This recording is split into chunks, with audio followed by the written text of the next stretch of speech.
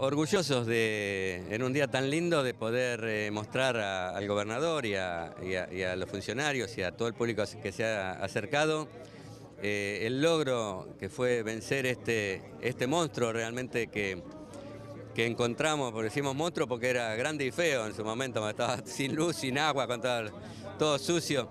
Y bueno, pudimos embellecerlo, instalar eh, empresas de, de primera calidad, tenemos de muchas empresas que, de competencia de nivel mundial. Este, realmente arrancamos con poquita gente, hoy tenemos más de mil personas trabajando, eh, estamos generando riqueza en la zona y, bueno, creemos que es un logro importante y estamos muy orgullosos. Aquí dentro estamos eh, quizá un poco limitados físicamente porque ya estamos prácticamente llegando al tope de nuestra capacidad. Eh, queremos, como, como, decía antes, no ser el, parque más importante ni el más grande, sino ser un ejemplo, eh, principalmente eh, que se pueda verificar, como se lo puede hacer hoy, de que puede convivir el medio ambiente con la producción. Se puede eh, trabajar y, trabajar sano.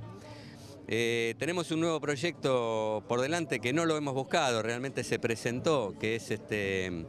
Eh, la quiebra de, la ex Curtarza y bueno, eh, dijimos por qué no eh, volver a repetir la experiencia que, hicimos en el parque y, poder reconvertir esta empresa que bueno, se caracterizó por, por realmente eh, algo malo, algo feo por el tema de contaminación y poderla reconvertir en una industria sana.